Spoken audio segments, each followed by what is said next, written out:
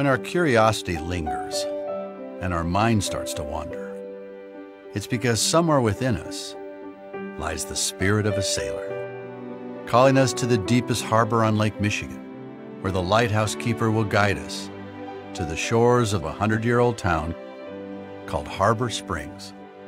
where we can glide over the water, navigate through dozens of galleries, and travel through the tunnel of trees, weaving on a course through the woods.